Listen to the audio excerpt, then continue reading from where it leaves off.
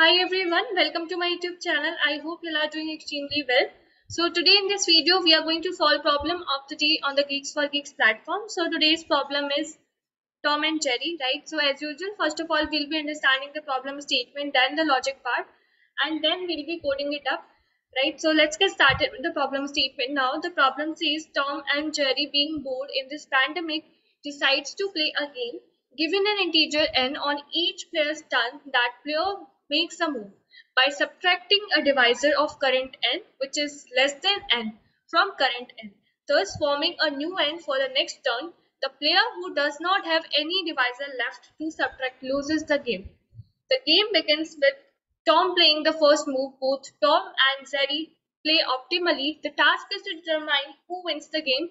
Return 1 if tom wins else return 0 so basically we are having okay. So the question is easy first of all. So obviously you'll be able to solve right? So we are having an integer n and what is happening here? A game is there right? A game is there which tom and jerry is playing as they are getting bored. So uh, now first of all they have mentioned that tom is going to make the first move right? Tom is going to play the first. Now how they are playing this game basically so for with this integer n right that you're having so they are uh, subtracting a divisor of current n. So right that's what they are doing so they are continuously doing this thing, right, in consecutive way.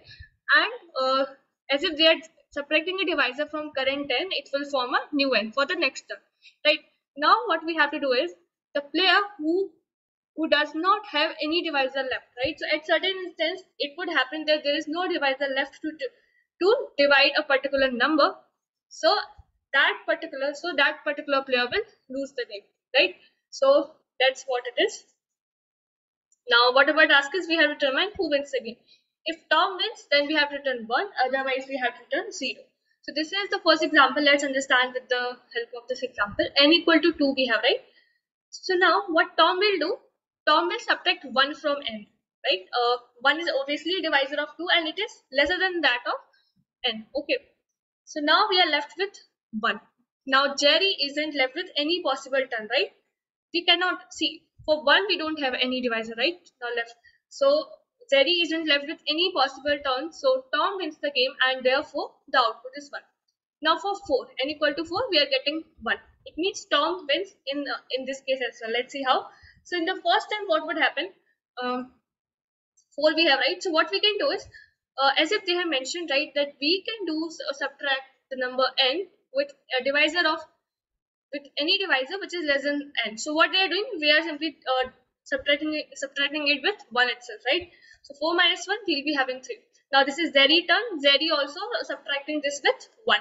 So the new number n is 2.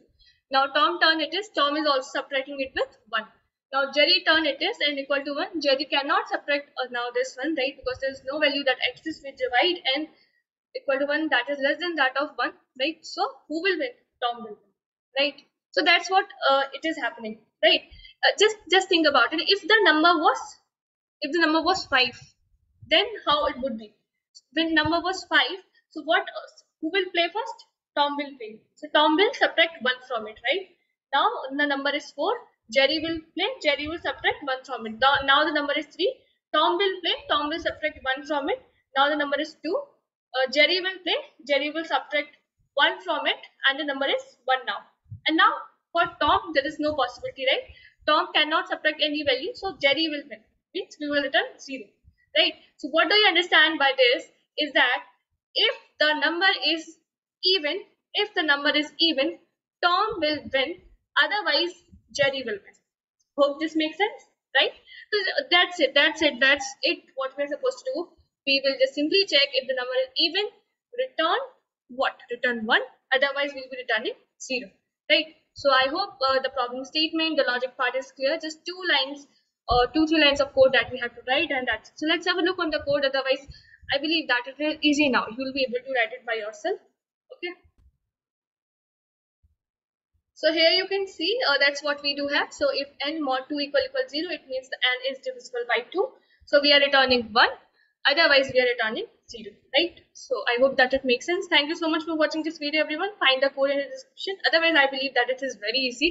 So you, so you don't need to check even there. So thank you so much for watching everyone. Bye bye keep learning keep preparing